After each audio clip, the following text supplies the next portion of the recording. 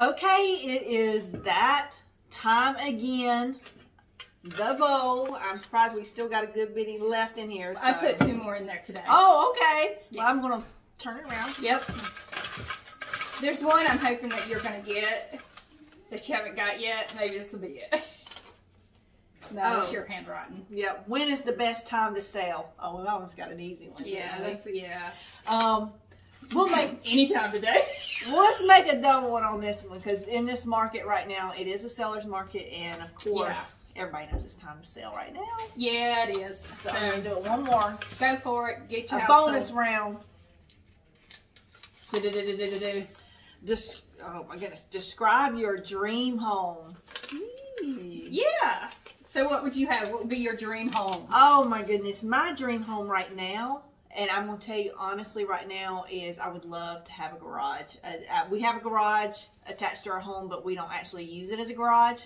So I would love to have a double car garage separate from the attached garage as well. So you love your house, you love your location where you are. Yeah. You're good with all that. I'm good with all that.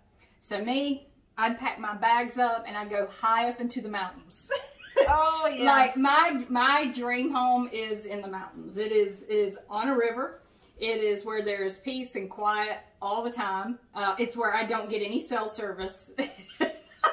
well, and I mean, and so maybe maybe my dream vacation home would be a better be way. yeah. Uh, that would if I had a second home, that would be that would be my go. That was exactly where I would go. Now my husband would go to the beach. But far as your home that you are at now, The home that I'm at now, I absolutely love my house. I do, and, and it's a brick rancher. It's got a basement, which is mm-hmm. unusual for our area. So I do, I do really like it. Mm-hmm. Um, I like that things are on one level. You Yes. know, I remember Yes. when I first got into real estate, houses were really huge and big, mm-hmm. and they had multiple angles Yes. for the roof lines and all that, all this style going.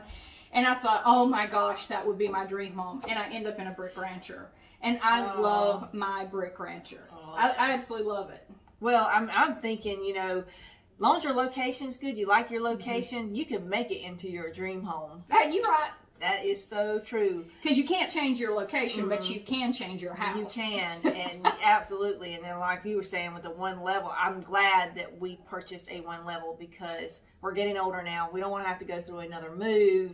And I am seeing some folks. That's the biggest reason they're wanting to sell is Yeah. because their their home's a two story and they're getting older and they can't go up and down the stairs. Yeah, it's no longer their dream home. no, no, I, I Yeah. get it. They want that smaller one level house.